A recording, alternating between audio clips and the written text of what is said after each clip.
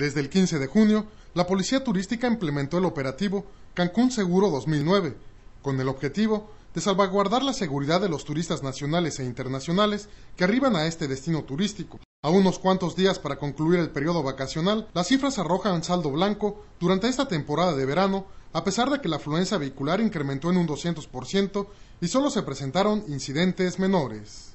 Desde que se inició esta nueva temporada vacacional, que ya está por fenecer, tuvimos mucha afluencia vehicular, en especial de este, turistas nacionales, tuvimos mucho turista nacional, y lo que aumentó la afluencia vehicular en un 200%.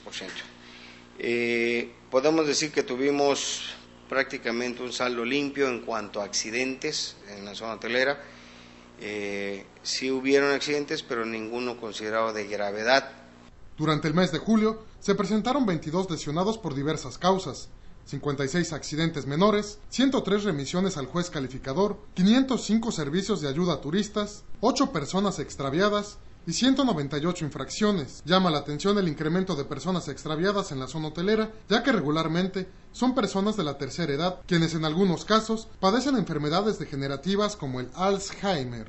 En el caso específico de tres personas de la tercera edad, pues al parecer parecían el mal de Alzheimer, salían del hotel y luego no sabían, no se acordaban ni de dónde, dónde estaban.